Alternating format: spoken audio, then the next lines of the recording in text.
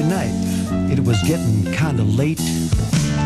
I was looking for some loving, but I didn't have no date.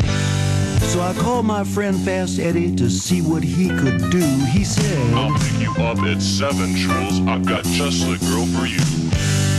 Well, he picked me up at 7, and we walked down to his car. Where sat the loveliest creature I think I ever saw.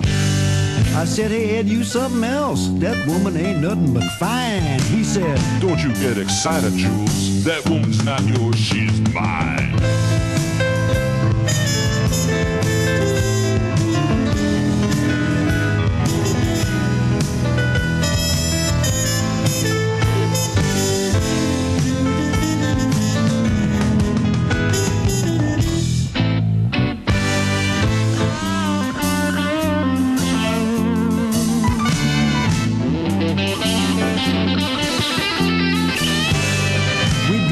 While, we finally got to a classy side of town.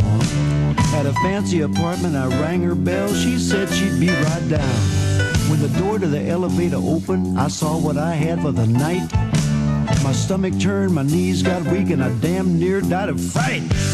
She was fat and she was ugly, she had pimples on her nose.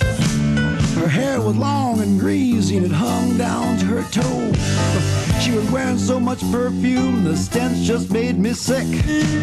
Top it off, she wore glasses at least three inches thick, but she said, Hi, I'm Debbie. My daddy's a millionaire.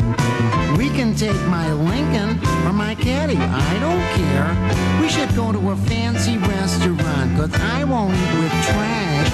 And I'll pick up the bill tonight, cause I'm carrying all this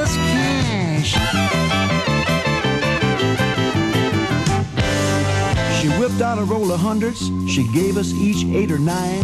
To tell you the truth, a strange thing occurred. She was looking better all the time.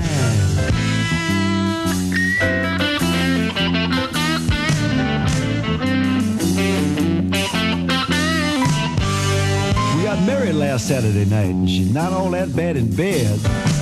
She do have trouble sleeping with that shopping bag over her head.